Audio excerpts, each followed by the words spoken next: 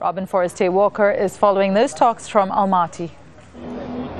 Well, it was made very clear to the media, at least this morning, by the European Union officials speaking to us that what they wanted from the Iranians today, the P5 plus one, the permanent members of the Security Council in Germany, was for the Iranians to respond specifically to those measures that you've just outlined there.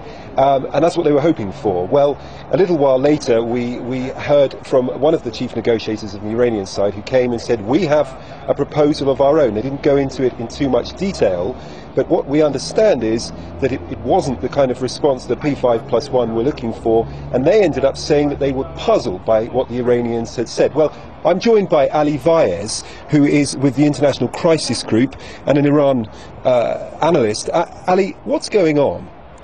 Well, it seems like two sides are really talking past each other. Um, the Iranians are talking about uh, what the first step, uh, what the end game would be. The P5 plus one is talking about what the first step should be. The Iranians are talking about broad principles that should govern uh, this uh, diplomatic process.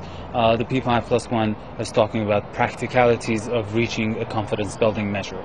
So a huge gulf remains in, uh, between the two sides' expectations.